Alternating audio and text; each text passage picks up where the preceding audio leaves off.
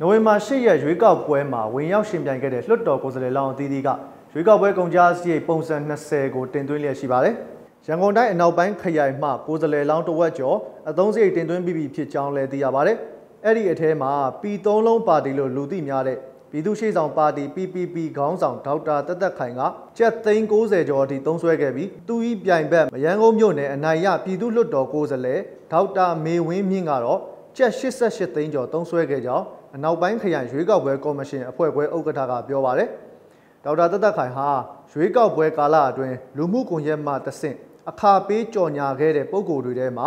ငွေကြေးအသုံးဆွဲမှုအများဆုံးအဖြစ် Facebook ကလွှင့်တင်ပေးထားတဲ့ Facebook Ad Library မှာအမေရိကန်ဒေါ်လာ2284ကျပ်သိန်း30နီးပါးအထိသုံးစွဲခဲ့ကြောင်းလည်းသိရပါတယ်။ရန်ကုန်အနောက်ပိုင်းခရိုင်အတွင်းပါတီ17ခုမှကိုယ်စားလှယ်လောက် 182ဦးအထိဝင်ရောက်ရှင်ပြိုင်ခဲ့ရာခရိုင်ရွေးကောက်ပွဲကော်မရှင်အဖွဲ့ခွဲထံသို့ဒီဇင်ဘာ9ရက်နေ့နေ့လယ်ပိုင်းအထိကိုယ်စားလှယ်လောင်း100ကျော်ဦးအထိအသုံးစရိတ်လာရောက်တင်ပြခဲ့ပြီဖြစ်ကြောင်းလည်းသိရပါတယ်။